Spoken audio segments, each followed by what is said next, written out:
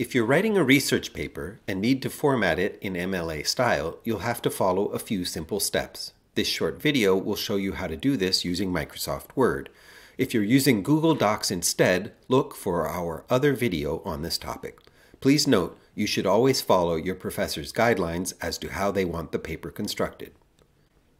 First, you'll need 1-inch margins on the top, bottom, left, and right of your document.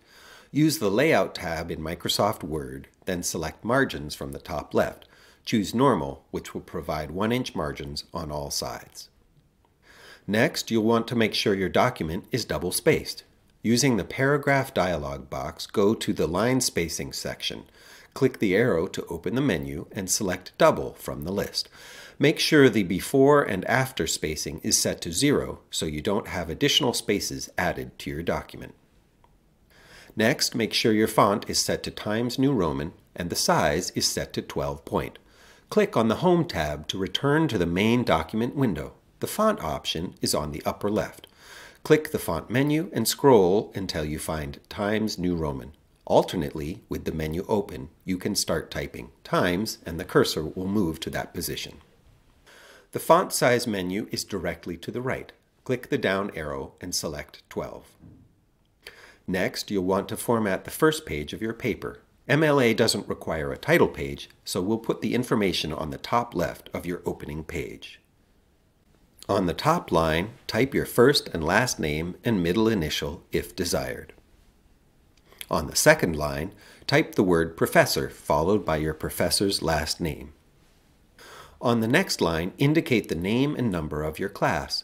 If you aren't sure what to enter here, you should be able to find the information on your syllabus or on your Blackboard site, if your class has one. Finally, enter the date. Double space again and enter the title of your paper. Capitalize significant words and leave words such as and, to, and of in lowercase. Center your title by using the centering option toward the top of the page. Include a page number at the top right of your paper. Type your last name in front of the page number. This will create a header that will appear on every page of your paper. If you're unfamiliar with page numbers, please see our video Adding Page Numbers in Word for more information. You can perform these tasks before you start typing your paper or at any point in the process.